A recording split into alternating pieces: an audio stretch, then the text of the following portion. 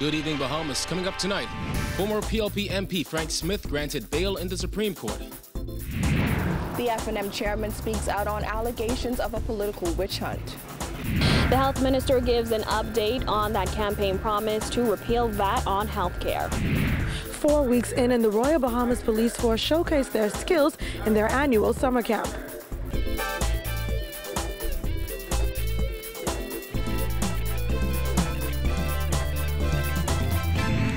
News is brought to you by ALIV, the nation's newest and best LTE network. Good to be alive. To our news and thanks for joining us. I'm Kyle Joaquin. Topping news tonight, former PLP MP and chairman of the Public Hospitals Authority, Frank Smith, has been granted bail. This after quick action by his lawyers who went to the Supreme Court for a bail hearing immediately after the former senator was charged in the magistrate's court. Mr. Smith has been admitted to bail in the amount of $50,000, and that's the only condition. Smith was granted $50,000 bail with two sureties less than two hours after he was arraigned in the magistrate's court on 13 counts of extortion, one count of attempted extortion, and a single count of bribery. Justice Stephen Isaacs heard Smith's bail application in the Supreme Court. Only our news team was there as Smith's attorney, Damian Gomez, left the Supreme Court smiling. We just took the position that it was unreasonable to ask for his travel documents given his circumstances. He's an exceptionally wealthy Bahamian with huge business interests in the country. And uh, on a summary matter, it's unthinkable that he would flee the jurisdiction. Smith was forced to endure a second night in police custody after he appeared for the arraignment yesterday, only to find out his files weren't ready. It is alleged that between April 1, 2016 and May 31, 2017, in his capacity as a public officer, Smith obtained the sum of $5,000 from Barbara Hanna, knowing that he was not lawfully authorized to obtain the same. It is also alleged that sometime during the month of April 2016, Smith, in his capacity as a public servant and without lawful authority or reasonable excuse, solicited the sum of $5,000 per month from Barbara Hanna on account of his assistance to her in procuring a contract with the Public Hospitals Authority. Prosecutor Anthony Delaney also pointed out that there are no witnesses listed. He said this was intentional because of a recent matter where a photo of one of the witnesses went viral. He said the prosecution is concerned about witness intimidation. When we spoke with his attorney yesterday, Gomez was concerned that there was an effort being made to keep Smith behind bars over the weekend. But now that he is home on bail, Gomez explained where the legal team goes from here. Well, we have obtained the order that we were seeking.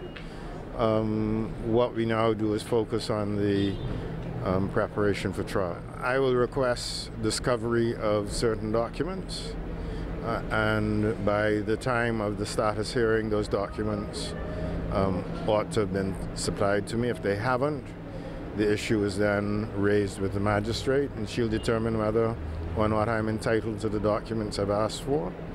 If I am, then she will give a time limit within which the documents are to be produced and set uh, venue um, and time for trial. Smith had heavy support in court today from his family and friends, including his in laws, Franklin Wilson and former Senate President Sharon Wilson, former PLP Chairman Raynard Rigby, former Cabinet Minister Keith Bell, and Bishop Neil Ellis.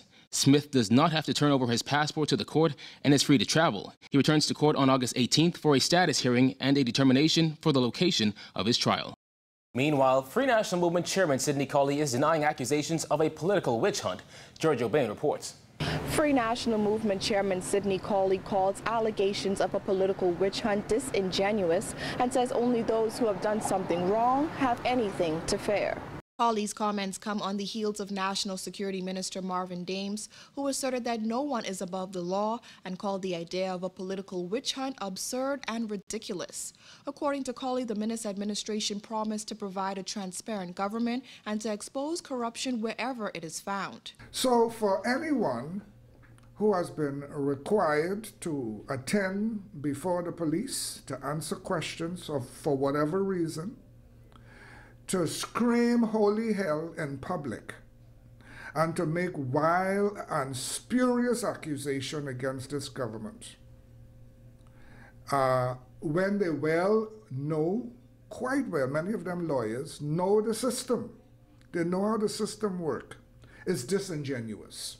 Collie also spoke out on accusations that having high-profile politicians paraded before the courts is an abuse of political power. So there isn't anything unusual. I think what is unusual and what those who are screaming bloody hell are concerned about is that now is one law.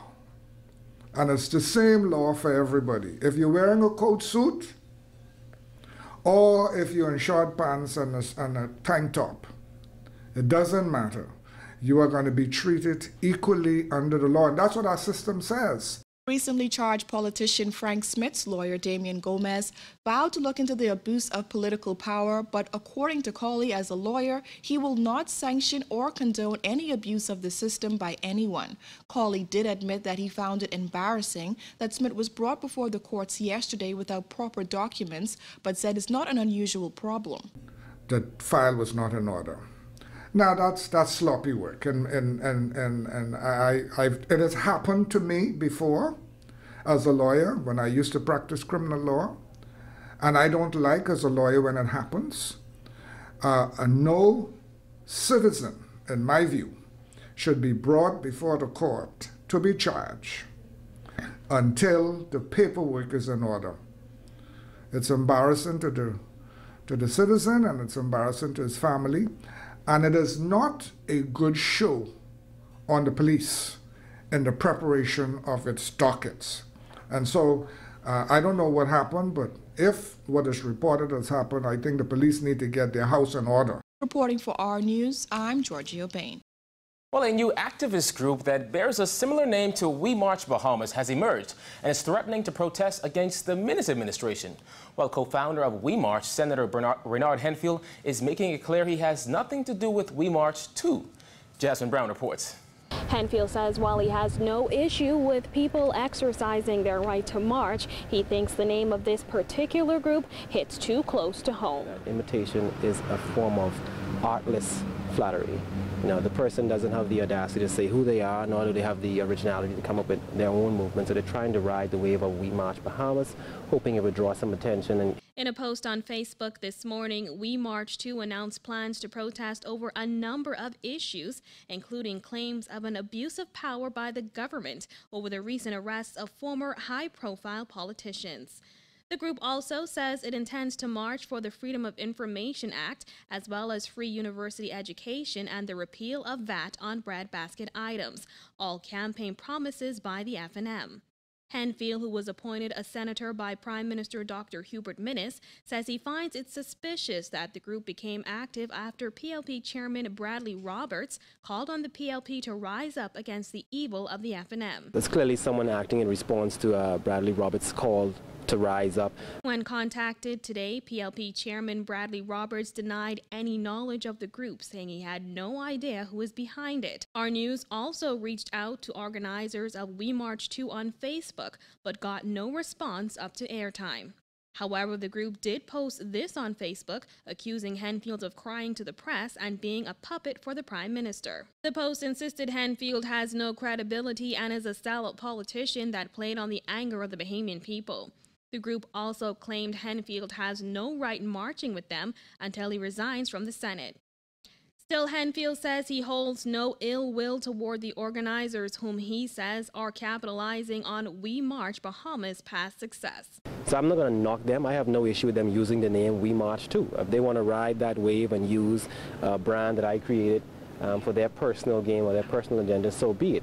But as long as you, you do it responsibly, you know, I always believe in giving people a voice. Reporting for our news, I'm Jasmine Brown. Dozens of patients were wheeled out of the Rand Memorial Hospital in Freeport today after a kitchen fire. Photos and videos circulated this afternoon showing nurses escorting patients out into the parking lot. Health Minister Dr. Duane Sands confirmed there was a fire in the hospital's kitchen. The minister said so far two staff members suffered mild smoke inhalation. Sands could not speak to the extent of the damage at the hospital, but said he, along with other health officials, were heading to Grand Bahama later this afternoon to get a first-hand look. He said the primary focus is keeping the patients and staff safe. Well, as another former PLP member of parliament was charged in the magistrate's court today, observers say the Minnis administration is sending a clear message about perceived corruption. However, it ought to be careful about the precedent that is being set. Christina McNeil has the details. While the Minnis administration appears to be taking a hard line approach to cracking down on alleged corruption in government, it must ensure that processes are put in place across the board, regardless of political affiliation. University of the Bahamas professor Dr. Ian Strachan making that point as a guest of Jerome Sawyer's On the Record, which aired Thursday night. While some have called the recent arrests and charges levied against former government ministers a witch hunt, Strachan says the Bahamian people expect that the anti corruption crackdown will go beyond party lines. I just think this is an, uh, an historic opportunity for this government. If it's serious to create mechanisms that will satisfy the public that it is committed to eradicating as much as possible corruption from public life. And, and uh, you know, let's, and, and, and we expect that. Looking back at the campaign trail, Strachan says former Prime Minister Hubert Ingraham was instrumental in securing the Free National Movement's election win. However, Strachan says Ingraham's recent warning for the Minnis administration to remain humble and on guard doesn't fit in with its moves to weed out corruption. Hold on.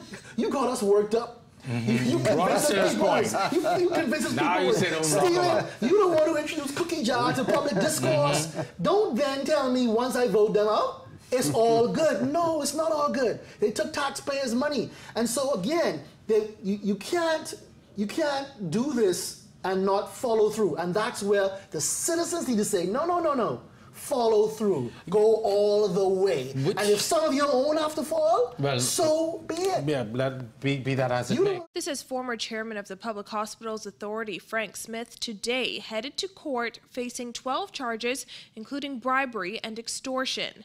That, Strachan says, is sending a clear message to Bahamians from all walks of life. We need to send a strong message that there are consequences, and we need to create a culture that says, you know, this, there is no impunity. You don't get to do whatever you want and not face any consequences.